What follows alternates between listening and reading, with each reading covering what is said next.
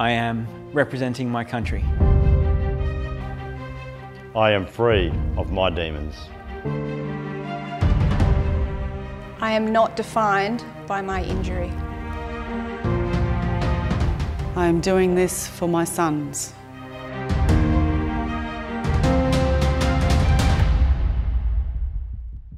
I am resilient. I am fighting through the pain.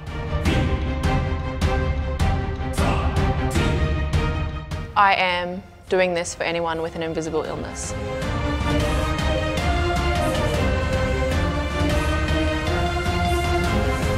I am the master of my fate. I am the captain of my soul.